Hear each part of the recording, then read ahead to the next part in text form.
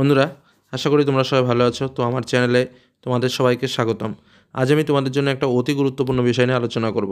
West Bengal board of secondary এডুকেশনে তোমরা যারা দশম শ্রেণীতে পড়ছো, যারা মাধ্যমিক পরীক্ষা দেবে, তাদের জন্য অতি গুরুত্বপূর্ণ বিষয় হলো ভূগোলের দুই মার্কের প্রশ্ন ও উত্তর, যেটি সাধারণত টিকা আকারে তোমাদের আসে।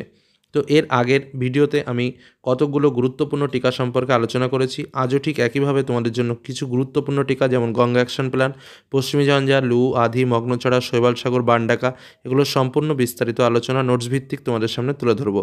তার আগে যারা এখনও চ্যানেলকে সাবস্ক্রাইব করোনি, অবশ্যই সাবস্ক্রাইব করে নাও এবং বেল আইকন অবশ্যই ক্লিক করে রাখো যাতে এরকম আরও গুরুত্বপূর্ণ ভিডিও তোমরা দেখতে পাও। বন্ধুরা শুরু করা যাক কিছু গুরুত্বপূর্ণ টিকা। তো আজকের প্রথম টিকা গঙ্গা অ্যাকশন প্ল্যান তো তোমরা কীভাবে লিখবে? প্রতিষ্ঠা। গঙ্গায় জলদূষণ রক্ষার উদ্দেশ্যে কেন্দ্রীয় রাজ্য সরকারের উদ্যোগে আট কেন্দ্রীয় ও রাজ্য সরকারের উদ্যোগে উনিশশো পঁচাশি সালে সেন্ট্রাল গঙ্গা অথরিটি নামে একটি তদারকি সংস্থার অধীনে গঙ্গা অ্যাকশন প্ল্যান নামে এক পরিকল্পনা গৃহীত হয়েছে, যা গঙ্গা অ্যাকশন প্ল্যান নামে পরিচিত। পরিকল্পনার উদ্দেশ্য বলে পয়েন্ট করবে, লিখবে গঙ্গার জলের অপব্যবহার বন্ধ করা, গঙ্গায় জল দূষণ কমানো, গঙ্গার পাড় বাধাই করা এবং তারপরে লিখবে গঙ্গা নদীর নাব্যতা বৃদ্ধি করা গঙ্গার জলে পলি সঞ্চয় কমানো, গঙ্গার জল পরিশ্রিতকরণের মাধ্যমে পানীয় জল হিসেবে ব্যবহার করা। পরের পয়েন্ট লিখবে পরিকল্পনার পদক্ষেপ। এই পরিকল্পনার প্রথম পর্যায়ে পশ্চিমবঙ্গ, বিহার ও উত্তরপ্রদেশে সাতাশটি প্রথম শ্রেণির শহরকে বেছে নেওয়া হয়। দু নম্বর এইসব শহরগুলি তাদের পরিত্যক্ত আবর্জনা সরাসরি গঙ্গায় নিক্ষেপ না করে, যা জল দূষণের জন্য দায়ী, সে বিষয়ে পরিকল্পনা নেওয়া হয়। পরেরটা হচ্ছে ফলাফল বলে পয়েন্ট করব। আশা করা যাচ্ছে এই ব্যবস্থা সঠিকভাবে গৃহীত হলে গঙ্গার জল দূষণ বন্ধ হবে, গঙ্গা জলের অপব্যবহার ও দূষণ বন্ধ করা সম্ভব হবে। চলে যায় তার পরবর্তী গুরুত্বপূর্ণ টিকাতে। ভারতের জলবায়ু থেকে একটা গুরুত্বপূর্ণ টিকা হলো পশ্চিমী ঝঞ্ঝা। কীভাবে লিখবে? অবস্থান। উত্তর পশ্চিম ভারতে পাঞ্জাব, হরিয়ানা, রাজস্থানে পশ্চিমী ঝঞ্ঝা দেখা যায়। নামকরণ, শীতকালে রৌদ্রোজ্জ্বল আবহাওয়ার মধ্যে বিশৃঙ্খলা ঘটার ফলে একে পশ্চিমী ঝঞ্ঝা বলা হয়। উৎপত্তিগত কারণ, ভূমধ্যসাগরীয় পশ্চিমা বায়ু শীতকালে পশ্চিম দিক থেকে পাঞ্জাবে প্রবেশ করে এই বায়ুর সঙ্গে দক্ষিণ পশ্চিম মৌসুমী বায়ুর সংঘর্ষে পশ্চিমী ঝঞ্ঝার সৃষ্টি হয়। বৈশিষ্ট্য লিখবে, হালকা বৃষ্টিপাত এবং পার্বত্য অঞ্চলে তুষারপাত ঘটে। দু নম্বর, শীতকালীন তাপমাত্রা নেমে যায় এবং তিন নম্বর, কোথাও কোথাও ঝড়ঝঞ্ঝা ও বজ্রপাত লক্ষণীয়। এইভাবে তোমরা পশ্চিমী ঝঞ্ঝার টিকাটা লিখবে। চলে যাই তার পরবর্তী টিকাতে।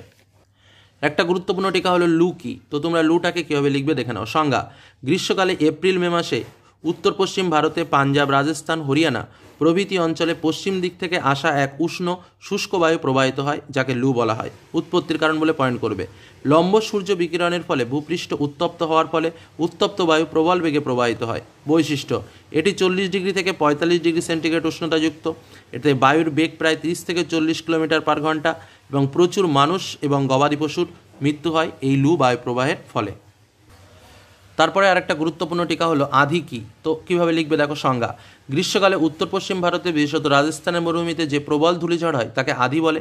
সৃষ্টির কারণ উত্তর পশ্চিম ভারতে অতি উত্তপ্ত সমভূমিতে সৃষ্ট নিম্নচাপ কেন্দ্র আদি নিম্নচাপ কেন্দ্র আদি সৃষ্টির কারণ।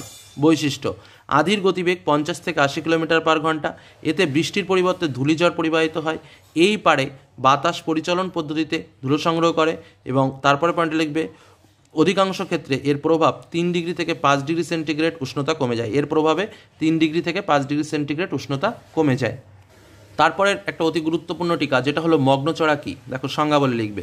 শীতল স্রোত পরিবাহিত হিমশৈল উষ্ণ স্রোতের সংস্পর্শে এলে গলে যায়। তখন হিমশৈলর মধ্যস্থিত নুড়ি বালি কাদা সঞ্চিত হয়ে যে অগভীর চড়া সৃষ্টি করে, তাকে মগ্নচড়া বলে। পরের পয়েন্ট করবে অর্থনৈতিক গুরুত্ব। মগ্নচড়া অঞ্চলে জলের গভীরতা দুশো মিটারের মধ্যে হয়। এখানে মাছের খাদ্য প্লাংটন প্রচুর জন্মায়। প্রচুর মাছের সমাবেশ ঘটে। মগ্নচড়াগুলি মৎস্য শিকারের আদর্শ স্থান। উদাহরণ হিসেবে লিখবে নিউ ফাউন্ডল্যান্ডের পূর্ব উপকূলে সাঁত্রিশ হাজার বর্গ কিলোমিটার জায়গা জুড়ে অগভীর মগ্নচড়া বা গ্র্যান্ড ব্যাংক সৃষ্টি হয়েছে। পরে আরও একটা গুরুত্বপূর্ণ টিকা, যেটা হলো শৈবাল সাগর কী? তো কীভাবে লিখবে? সংজ্ঞা, উত্তর আটলান্টিক উত্তর আটলান্টিকের বরাবর বা উত্তর আটলান্টিকের যে জায়গাটা রয়েছে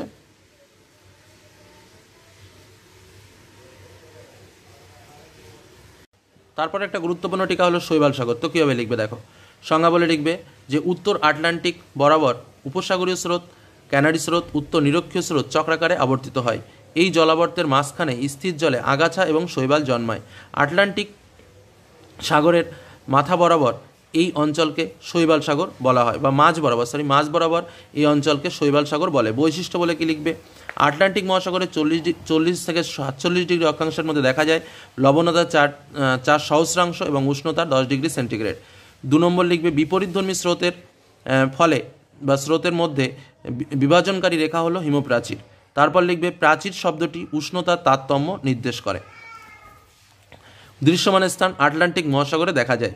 আর মনে রাখবে যে এই জায়গাটা যেটা একটা কথা রয়েছে বিপরীতধর্মী স্রোতের রঙের মধ্যে বিভাজনকারী। মানে দুটো স্রোত যায়, এক পাশে একরকম রং হয় আর এক পাশে আর এক রকম রং হয়। তার মধ্যে যে রেখাটা তৈরি হয় দুটো রঙের মাঝখানে, সেটাই কিন্তু হলো শৈবাল সাগর। চলে যাব তার পরের টিকাতে। দেখো, আরেকটা টিকা গুরুত্বপূর্ণ রয়েছে, যেটা হলো বান ডাকা। তো সংজ্ঞা হিসেবে কীভাবে লিখবে? বর্ষাকালে ভরা কোটালের সময় সমুদ্রের জল নদীর মোহনা দিয়ে নদী প্রবাহের বিপরীতে নদী খাতের মধ্য দিয়ে প্রবল জলোচ্ছ্বাস ঘটিয়ে প্রবেশ করলে তাকে বান ডাকা বলে। কারণ বলে পয়েন্ট করবে নদী মোহনা শঙ্কু আকৃতির হলে এটি সৃষ্টি হয় নদী মোহনা বালির চড়া থাকলে এটি সৃষ্টি হয় এবং নদীর জলের পরিমাণ বেশি হলে এটি সৃষ্টি হয়। উদাহরণ হিসেবে লিখবে, পশ্চিমবঙ্গের হুগলি, লন্ডনের টেমস নদী, অববাহিকায় বান ডাকা সৃষ্টি হয়। এভাবে কিছু টিকা আমি তোমাদের সামনে আজ তুলে ধরলাম। এর পরবর্তীতে আরও কিছু টিকা আমি তোমাদের সামনে তুলে ধরবো। প্রত্যেকটি টিকায় গুরুত্বপূর্ণ, তোমরা প্রয়োজনে এগুলো ধীরে ধীরে পড়ে ফেলো এবং নোটস করে ফেলো। কোনো অসুবিধা থাকলে অবশ্যই কমেন্টসে জানিও। তো আজকের মতো আলোচনা এখানেই শেষ করছি। ধন্যবাদ।